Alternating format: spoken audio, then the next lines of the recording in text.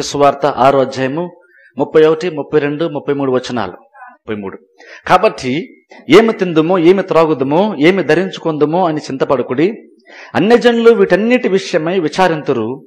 ఇవన్నీ మీకు కావాలనని మీ పరలోక తండ్రికి తెలియను. కాబట్టి మీరు ఆయన రాజ్యమును నీతిని మొదట వెతుకుడి. అప్పుడు అవన్నీ మీకు అనుగ్రహింపబడును. కాబట్టి ఇక్కడ దేవుడు యేసుక్రీస్తు స్వయంగా ఇక్కడ బోధిస్తున్నటువంటి మాట.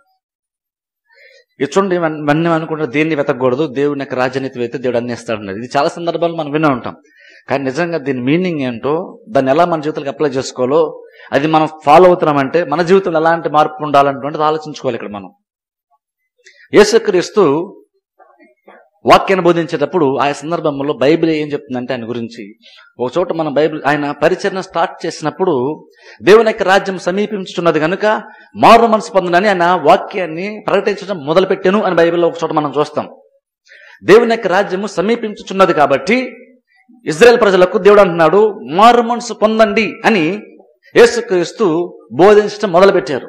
యేసుక్రీస్తు యొక్క బోధలో ముఖ్యంగా ప్రధానమైన విషయాలు ఏంటంటే దేవుని యొక్క రాజ్యమును గురించి యేసుక్రీస్తు బోధించడం బైబిల్లో మనం చూస్తాం. అనేదో వేరే వేరే విషయాలు చెప్పట్లేదు రాజ్యమును గురించి.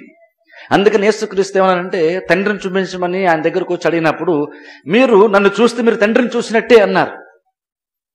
ఎందుకంటే దేవుని యొక్క రాజ్యం ఎలాగ పనిచేస్తుందనేటువంటిది యేసుక్రీస్తు కంటే శ్రేష్టముగా యేసుక్రీస్తు కంటే బెటర్గా తెలుసుకున్నటువంటి వారు ఎవరూ కూడా ఆ టైంకి లేరు. యేసుక్రీస్తు వచ్చినప్పుడు ఆయన ఏం చేశాడంటే పరలోకంలో వచ్చినటువంటి ఆయన కాబట్టి దేవుని యొక్క రాజ్యము ఎలా పనిచేస్తుంది దేవుని యొక్క రాజ్యం ఉన్నటువంటి ప్రాముఖ్య విషయాలు ఏంటన్న విషయాన్ని యేసుక్రీస్తు బోధించడం మొదలుపెట్టారు. గమనించారు చాలా చాలా ప్రాముఖ్యం. అందుకని చూడండి మనము ఆత్మీయ విషయాలను నేర్చుకోవాల్సి ఉంటుంది. ఇప్పుడు చూడండి బైబిల్ మన గురించి మాట్లాడుతున్నప్పుడు మీరు ఈ లోకంలో ఉన్నవారు కానీ లోక సంబంధులు కారు అని బైబిల్ చెప్తుంది. కొన్ని మరొక చోట వేసుకు ఉపమానం చెప్తున్నప్పుడు రాజ్య సంబంధులు అంటారు. చూడండి బైబిల్లో ఆ డిఫరెన్స్ ఖచ్చితంగా ఉంది. రాజ్య సంబంధులు లోక సంబంధులు. చూడండి ఈ డిఫరెన్స్ ఖచ్చితంగా బైబిల్ దేవుడు చెప్తున్నాడు. ఎందుకని? ఆయన నమ్మినటువంటి వారు అని రావట్లేదు. కొన్ని సందర్భంలో రాజ్య సంబంధులు అని వస్తుంది. అంటే యాక్చువల్ మన ఐడెంటిటీ ఏంటో యేసుక్రీస్తు డిఫైన్ చేస్తున్నారు అక్కడ. మన గుర్తింపు ఏంటనేటువంటిది యేసుక్రీస్తు చెప్తున్నారు. అందుకని ఆయన రాజ్యమును గురించి బోధించడానికి రాజ్యమును గురించి ప్రకటించడానికి వచ్చారు. రాజ్యము అన్నామంటే అర్థం ఏంటంటే దాన్ని పరిపాలించేటువంటి ఒక రాజు ఉన్నాడంటువంటిది వాస్తవం. రాజ్యము అనగానే రాజు లేకుండా రాజ్యం ఉండదు. కాబట్టి దేవుడు రాజ్యం గురించి మాట్లాడుతున్నాడంటే దాన్ని ఏలేటువంటి అధికారం కలిగినటువంటి ఒక ఆయన ఉన్నాడంటువంటిది క్లియర్గా ఆటోమేటిక్గా మనకు అర్థమవుతుంది. కాబట్టి దేవుని యొక్క రాజ్యము అనగానే వెంటనే మనకి ఏం గుర్తు రావాలంటే అదేదో పర్ పరలోకం అని కాదు. ఇప్పుడు గమనించండి రాజ్యము అన్నప్పుడు చాలా సందర్భంలో యేసుక్రీస్తు అది రాబోతుందని కొన్ని సందర్భాల్లో చెప్తారు. కొన్ని సందర్భం అది వచ్చింది అంటారు. అది మీ మధ్యనే ఉందని మరొకసారి అన్నారు. అది మీలో ఉందని కూడా మరొకసారి అన్నారు. కాబట్టి సందర్భాన్ని బట్టి మనం అర్థం చేసుకోవాలి. పరలోక రాజ్యము అని బైబిల్లో ఉన్న ప్రతిసారి అది పరలోకం నుంచి మాట్లాడుతున్నాను కాదు.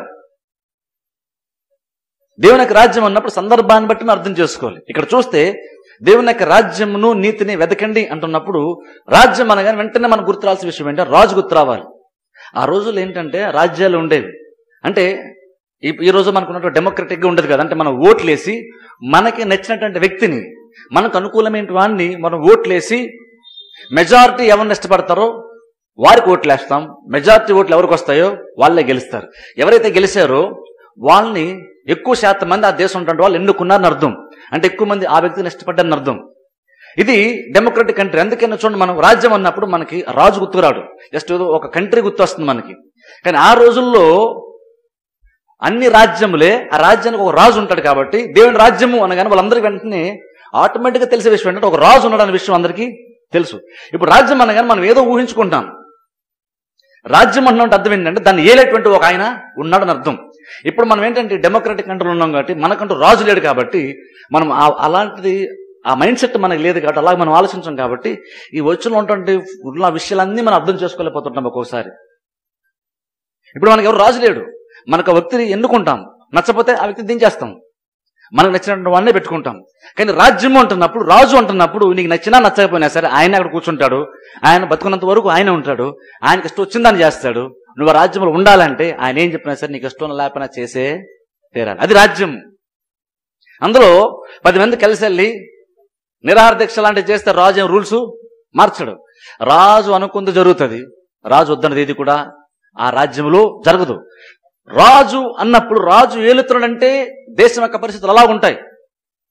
అంటే ఇంక ఆయన ఏదంటే అదే. ఇప్పుడు చూడండి మనకు అది అర్థం కాదు. ఎందుకంటే మనకు వద్దంటే మనం దించే చోవితిని కాబట్టి మనకు అర్థం కాదు. కానీ రాజ్యం ఉన్నప్పుడు దాని ఏదైతే ఒక రాజు ఉన్నాడు అన్న విషయం అర్థమవుతుంది.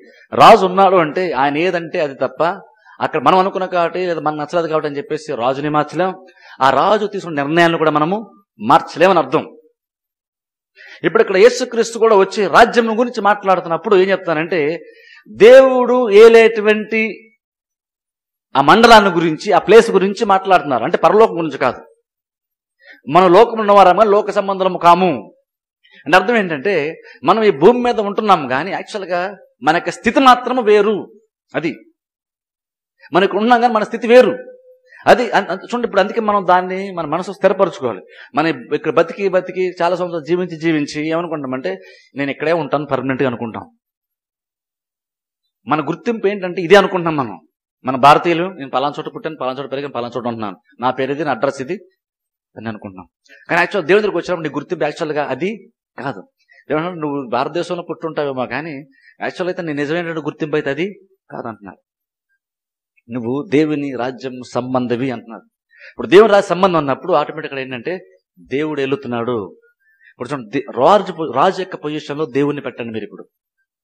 రాజు యొక్క పొజిషన్ దేవుని పెట్టినప్పుడు ఆ దేవుడు రాజుగా ఉండి ఆ రాజ్యమును ఆయన పరిపాలిస్తున్నాడు.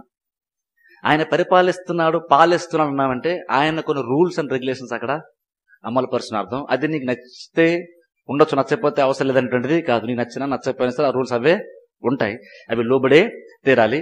అవి మార్చడానికి వీలు లేదు. ఇప్పుడు దేవుని యొక్క రాజ్యం అనేసరికి అది. ఇప్పుడు అందుకని చూడండి ఈ డెమోక్రటిక్ మైండ్తో మనం ఉండి మనం దేవుని దగ్గరకు వచ్చారని మాత్రం అనుకున్నామంటే మనకి ఇష్టం వచ్చింది చేసుకోవచ్చు అనుకుంటాం దేవుని దగ్గరకు వచ్చి.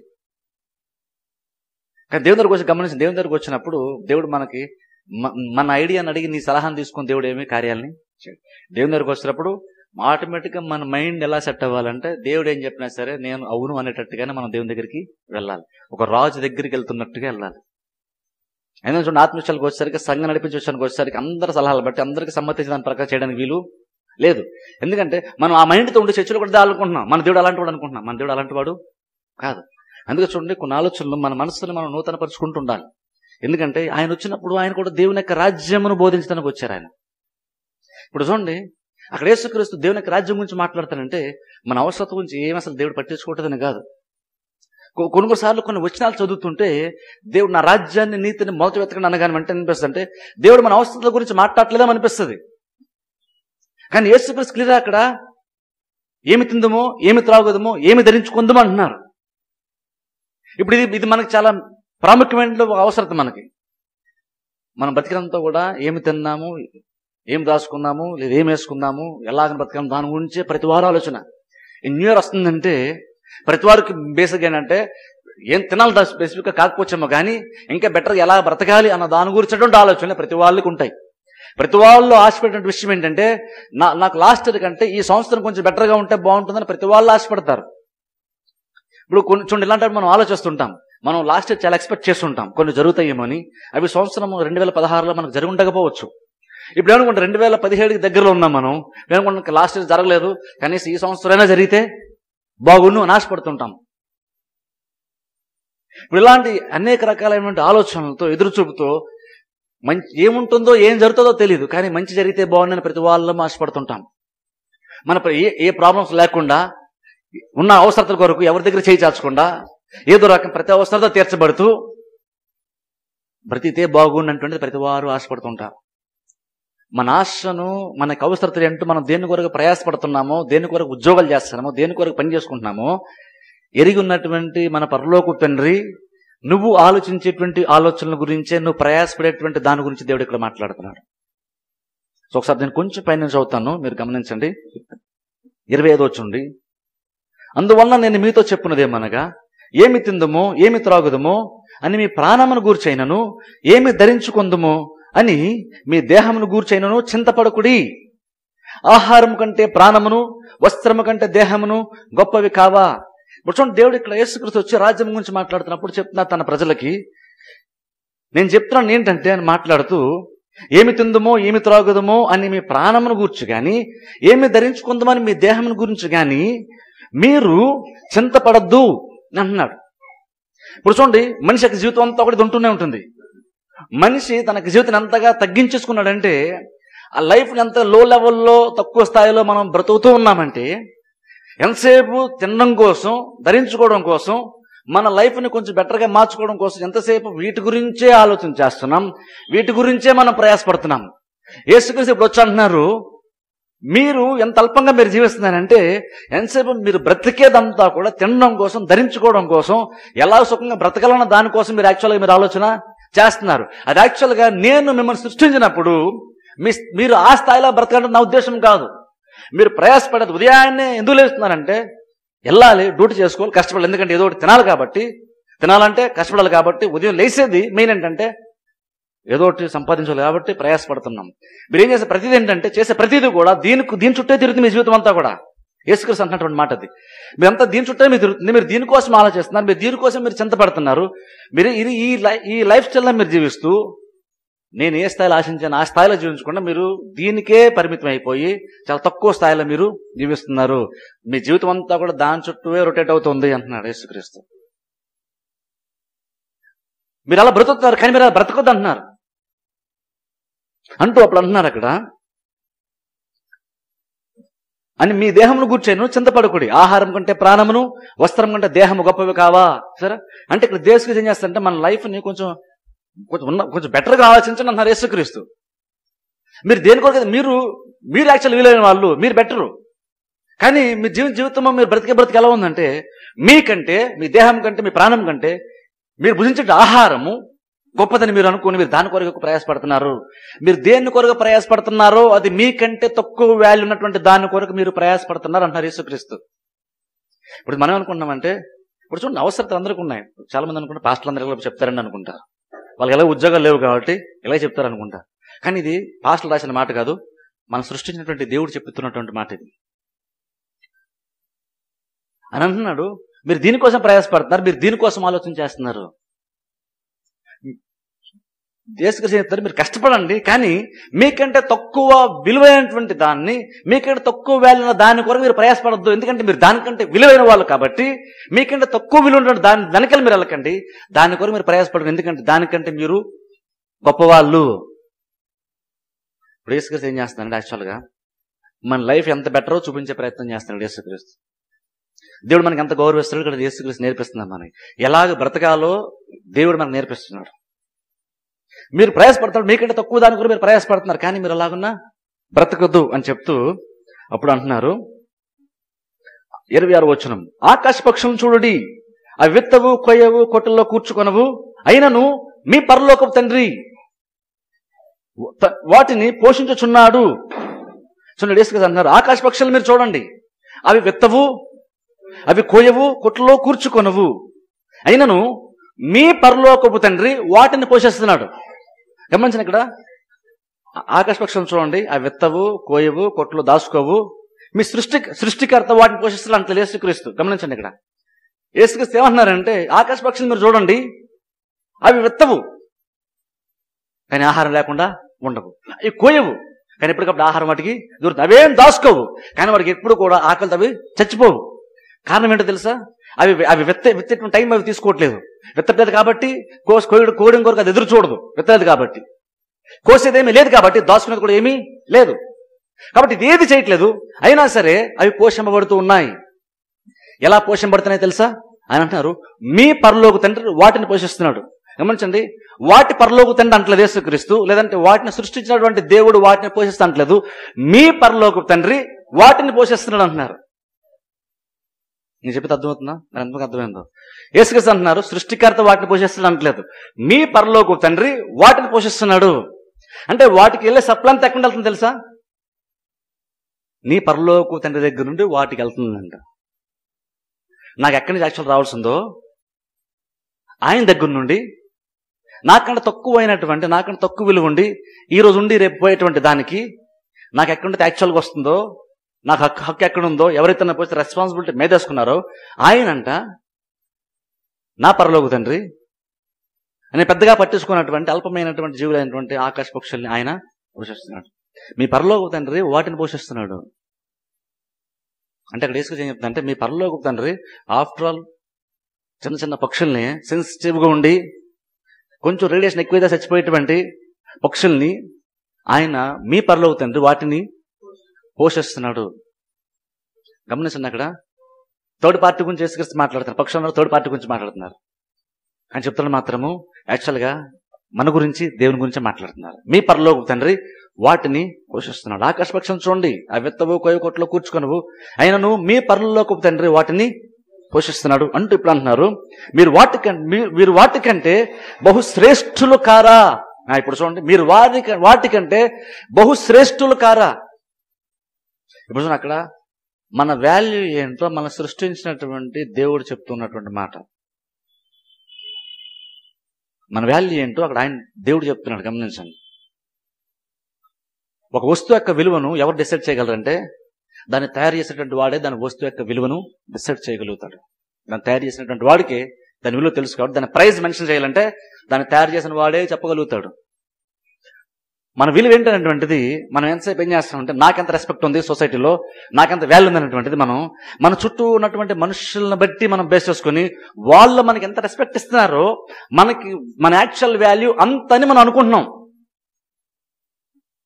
మనం అనుకుంటున్నాం అంటే అంటే బేసిక్గా నా వాల్యూ ఎంత అనేటువంటిది నన్ను తయారు చేసిన వాళ్ళ దగ్గరికి వెళ్ళి నేను తెలుసుకునే ప్రయత్నం చేయట్లేదు. నా చుట్టూ ఉన్నటువంటి వాళ్ళు నాకెంత వాల్యూ ఉందని వాళ్ళు అంటున్నారో ఆ ట్యాగ్ మీద వాళ్ళంత వాల్యూ పెట్టారో అది నా వాల్యూ నేను అనుకుంటున్నాను. కానీ ప్రతిసారి మనుషులకు ఆలోచనలు తప్పవుతుంటుంది. విషయం తెలుసా? కొన్నిసార్లు మనం అనుకుంటాం మనం అంటే పన్ను వాళ్ళకి మన వాల్యూ తెలియదు అనుకుంటాం నన్ను ద్వేషించేటువంటి వారికి నా వాల్యూ తెలియదు అనుకుంటాం కానీ చెప్తున్నాను చూడండి నేను ద్వేషించే వాళ్ళే కాదు నిన్ను ప్రేమించేటువంటి వాళ్ళు నిజంగా మనస్ఫూర్తిగా గౌరవించేటువంటి వాళ్ళకు కూడా నీ యొక్క నిజమైన వాల్యూ అంటే వాళ్ళకు కూడా తెలియదు. నేను ద్వేషించేటువంటి వాళ్ళని వాల్యూ తెలియదని చెప్పట్లేదు నేను. నేను నిజంగా ప్రేమించేటువంటి వాళ్ళు నిజంగా నేను గౌరవించేటువంటి వాళ్ళకు కూడా నీ వాల్యూ అంటే వాళ్ళకి తెలియదు నీ నిజమైన వాల్యూ అంటే వాళ్ళకి కూడా తెలియదు ఎందుకంటే వాళ్ళు మనుషులు కాబట్టి వాళ్ళకి నీ వాల్యూ తెలియదు మన వాల్యూ ఏంటో తెలుసుకోవాలంటే దేవుని దగ్గరికి వెళ్ళాలి. ఆయన అంటున్నాడు మనకు గౌరవం ఇచ్చి అంటున్నాడు మీరు వాటికంటే మీరు శ్రేష్ఠులు కారా? మీరు వాటికంటే ఎందుకంటే వాటి ప్రతిసారి ఎప్పటికప్పుడు దేవుడు ఆహారం ఇస్తున్నాడు. ఆకాశ పక్షులు అవేవి కూడా ఆహారం లేమని చచ్చిపోవడం ఉండదు. వేరే వేరే కారణాలతో చచ్చిపోవచ్చేమో కానీ ఆహారం కొరతతో చచ్చిపోయేటువంటి పక్షులు జనరల్గా ఉండవు. కాకులు చూడండి ఆహారం లేదు కాబట్టి ఆ కాకులు చచ్చిపోవు. వేరే వేరేగా చచ్చిపోతే ఛాన్స్ ఉందేమో కానీ వేరే వేరే జబ్బులు చచ్చిపోవచ్చేమో కానీ జస్ట్ ఆహారం లేదన్నటువంటి ఒక్క కారణాన్ని బట్టి ఆకాశ పక్షులు చచ్చిపోవు. ఎందుకంటే వాటిని ప్రతిరోజు గమనించి వాటికి అవసరం ప్రతిదాన్ని సిద్ధపరిచేటువంటి పరలోకు మన పరలోకు తండ్రి వాటికి సిద్ధపరుస్తున్నాడు. వా వాటికి ఆ సృష్టికి ఆ పక్షులకి దేవుడు పరలోకు తండ్రి కాదు. మనకి పరలోక తండ్రి మన తండ్రి వాటిని పోషించే అంత సామర్థ్యత ఆయనకి ఉంది. వాటి గురించి పట్టించుకునేంత ప్రేమ మన పరలోక తండ్రికి ఉంది. యేసు చెప్తున్నారు. కాబట్టి మన వాల్యూ ఏంటంటే చుట్టుపక్కల మన చుట్టూ ఉన్నటువంటి వాళ్ళు నీ గురించి ఏం మాట్లాడుతున్న దాన్ని బట్టి నీ వాల్యూ నిర్ణయించబడదు. యాక్చువల్ నీ వాల్యూ ఏంటంటది బైబిల్లో దేవుడు నీ గురించి ఏం చెప్పిన దాన్ని బట్టి నీ వాల్యూ ఉంటుంది. ఇది దీంతో నిజంగా మన మనసు నూతన పరచుకో తెలుసా? మన చాలా సందర్భంలో మనకు గౌరవం రావట్లేదు మనం ఫైట్ చేస్తుంటాం. చర్చిల్లోను కుటుంబాల్లోనూ మనం పనిచేసే చోట గౌరవం దక్కట్లేదని మనం ఫైట్ చేస్తుంటాం. నిజంగా మన వాల్యూ ఏంటో తెలిసినప్పుడు ఎవరు గౌరవం ఇవ్వకపోయినా సరే మనం పట్టించుకోం. ఎందుకంటే వాళ్ళు గుర్తించగలిగే దానికంటే వాళ్ళు అర్థం చేసుకోగలిగే దానికంటే ఇంకా హై లెవెల్లో మన వాల్యూ ఉంది. వాళ్ళ అల్పమైనటువంటి మనస్సుకి దేవుడు మన పైన పెట్టిన వాల్యూ ఏంటో వాళ్ళకి తెలియదు. అందరం చూసారు? అందుకే అంటున్నాను. మన విలువ ఏంటంటే నీకు అనుకూలంగా ఉండి నీకు సపోర్ట్ చేసేటువంటి వాళ్ళకు కూడా నీ వాల్యూ ఉంటుంది నిజంగా. తెలియదు వాళ్ళని ఎప్రిషియేట్ చేయొచ్చు నేను గౌరవించవచ్చు నీకు వాల్యూ ఇవ్వచ్చు. కాబట్టి ఎంతో కొంత వాళ్ళకి వాళ్ళు నీకు వెయిటేజ్ ఇస్తున్నారు వాళ్ళు. కానీ వాళ్ళు ఎంత గౌరవిస్తున్నారు అంతే కాదు అంటే నీకు ఎక్కువ వాల్యూ నీకు ఉంది. దేవుడు అక్కడ చెప్తే యేసుక్రీస్తు. కాబట్టి అంటున్నారు ఆయన వాటికంటే బహుశ్రేష్ఠులు కారా? మీలో నెవడు చింతించడం